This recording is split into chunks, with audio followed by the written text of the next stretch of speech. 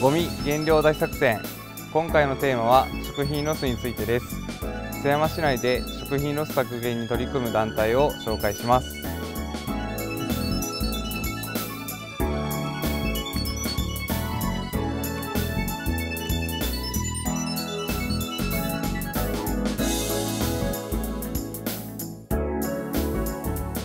食品ロスは食べ残しや売れ残り期限が近いなどさまざまな理由で食べることができるのに捨てられてしまう食品のことです。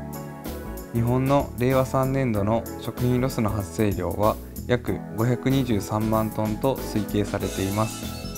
1人1日あたりに換算すると約 114g とお茶碗約1杯分のご飯に近い量の食べ物が毎日捨てられていることになります。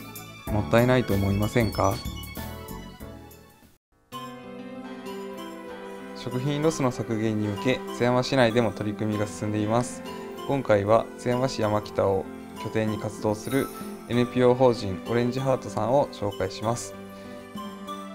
子どもたちをね健やかに育んでいきたいなっていうことで、えー、そういったお父さん子どもやお母さんたちのねお母さんお父さんたちのね居場所として立ち上げたのが子育て支援の、えー、オレンジハートなんですね。その中でいろいろあの子どもの課題とか世の中の課題とかそういったものに触れていく中でたくさんのものが捨てられているそして子どもたちは食べれない家族があるそういったことを、まあ、話が聞こえてくるに従って、えー、私たち仲間でそれをどうにかつなげられたらいいなということで捨てられるものがあるんだらその捨てられるものが生かされる場所を作ったらいいかなということで必要とされている方に、え、お配りする活動としてフードライフドライブっていう活動を始めました。はい、思い出す。はい、さよなら。あの皆さんからいただきました食材がですねお米もたくさん来ますし、えー、食料品も来ますのでそういったものを、えー、宮坂大学の学生さんたちがですね、えー、あるもので献立を考えてそのあるもので考えた食材でメニューを作りメニューで、えー、皆さんに食べていただく、まあ、あのコロナ禍になってからずっとここで30人ぐらい食べてたんですけれどもあの食べれなくなって、えー、今はお弁当を毎月さ、えー、60食作ってお渡ししています。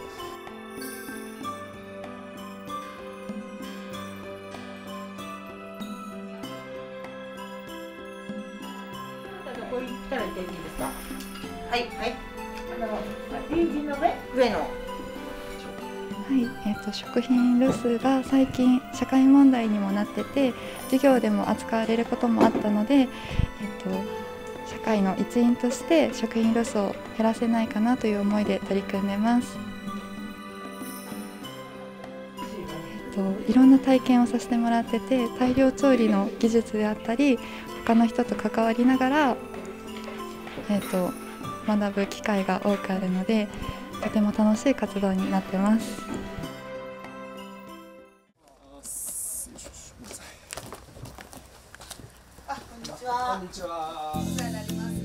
あの一般の方からいただくあの皆さんが持ってきてくださる寄付のことなんですけれども、えー、それは毎週火曜日と木曜日の10時から12時の間に、えー、オレンジハートの事務所の方に、えー、届けていただくっていうふうにしています。それでもその日程がどうしても合わない時にはお電話いただいたらその時間に受け取れるように私たちが、えー、準備するようにしていますですので、まあ、とりあえずは問い合わせ先の電話番号の方にですね、えー、かけていただけたらあの対応させてもらおうと思いますのでどうぞよろしくお願いします。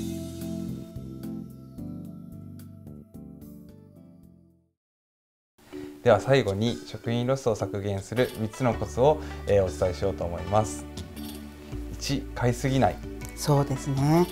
買い物に行く前にはね冷蔵庫の中を見たり食品庫の中を見て、えー、余分なものを買わないように必要なものだけ買いましょうね。はい、はい、使い切る。使い切る。これなかなか難しいんですけれどもあのいろいろ買いすぎてとしても、えー、常備食を作ったりそして加工するなどして保存してまた冷凍保存などしてそれを上手に使っていくということが大事かなと思います。そして期限やなどをねちゃんと自己管理しておくっていうこともね大事かなと思いますね。3食べきる。